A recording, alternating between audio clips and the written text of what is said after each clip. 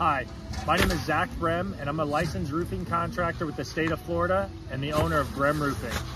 Our roofing company provides roofing services for residential and commercial buildings in north central Florida.